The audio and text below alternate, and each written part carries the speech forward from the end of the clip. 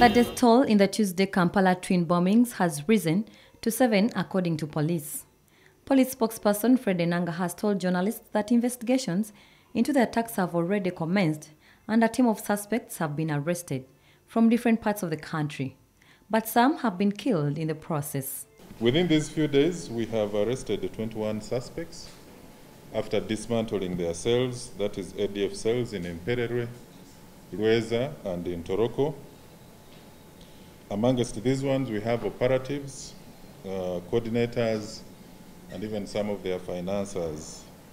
We shall avail this list, but of now, of course, so we don't want to alert them. Pictures and names of those arrested have been displayed to journalists with the help of the Army spokesperson, Brigadier Flavia Byekwaso. That is Bagonza, still part of logistics, uh, courier, and still Ntoroko Bundibugyo.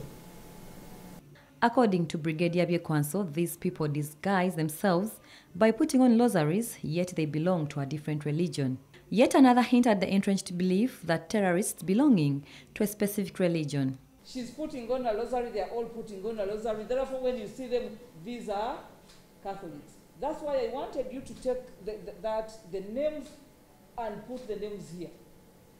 Don't think that this one is for no reason. They have a reason why they have to get a mark.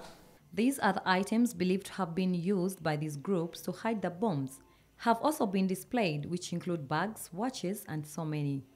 Police also confessed to killing suspects responsible for coordinating and recruiting people for radicalization. These include Atindia Yasin, aka Senabuli Adan, Biaruhanga Musa Bahemuka, Turichimanya Joshua Mathias, and Bagonza Joseph. They were all crossing from Chisege in, in Toroko.